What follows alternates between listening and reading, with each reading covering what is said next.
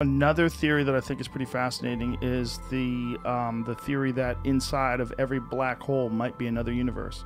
That the idea of inside every galaxy apparently is a supermassive black hole that's exactly one half. I think it's one half of one percent of the mass of the entire galaxy. So this intense, massive black hole at the center of every, every galaxy.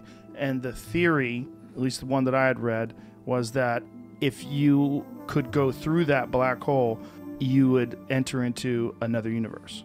And that each of these galaxies has infinite, like, there's infinite number of galaxies essentially, right? There's hundreds and hundreds of billions of galaxies. And each galaxy has a black hole inside of it, a supermassive black hole. and that through that, you would go into another universe.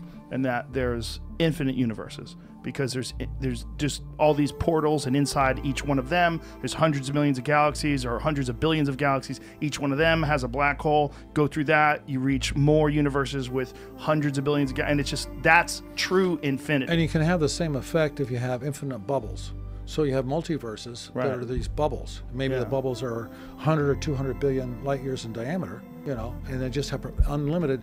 So I don't buy that there's that space is finite. I think it's endless. I don't think there ever was a beginning. I don't think there was an end to the universe.